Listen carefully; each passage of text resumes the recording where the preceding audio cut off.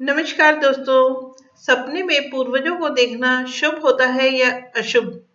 जानिए क्या कहता है स्वप्न शास्त्र दोस्तों स्वप्न शास्त्र के अनुसार सपने हमें भविष्य में होने वाली अच्छी बुरी घटनाओं का संकेत देते हैं।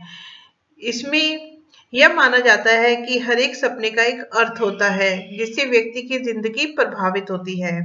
कई बार लोग सपने में भूत पिशाच या किसी की मौत देखकर डर जाते हैं। हालाँकि स्वप्न शास्त्र के अनुसार डराने वाले सपने हमेशा पूरा संकेत लेकर नहीं आते। आइए जानते हैं कि सपने में पितरों के दर्शन का क्या अर्थ है। दोस्तों स्वप्न शास्त्र के अनुसार अगर सपने में आपको पितर आपस में बातें करते नज़र आए तो इसका अर्थ है कि वो आपको आगामी जीवन में आने वाली किसी परेशानी को लेकर आगाह करना चाहते हैं। माना जाता है कि ऐसे सपने दुर्घटना से बचाने का काम करते हैं। सपने में अगर आप अपने पूर्वजों को हँसते हुए देखते हैं तो इसका मतलब है कि यह एक शुभ सपना है। मान्यता है कि यह सपने इस बात का संकेत देते हैं कि पितरों की कृपा सदैव आप पर बनी रही, रहेगी। उनके आशीर्वाद से घर परिवार में सुख समृद्धि बढ़ती है।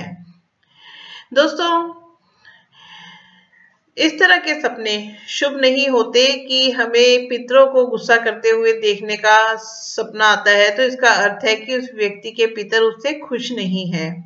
अधिकतर मामलों में ये सपने उन्हीं लोगों को आते हैं जो पितृ दोष से पीड़ित होते हैं। साथ ही यदि उनकी कोई ऐसी इच्छा है जो मरने से पहले अधूरी रह गई हो, अब वह आपके माध्यम से अपनी इच्छा पूरा, पूरी करवाना चाहते हैं।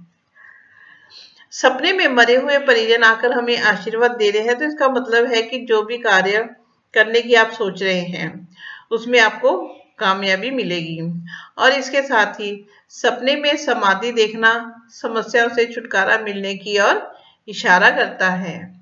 धन्यवाद दोस्तों।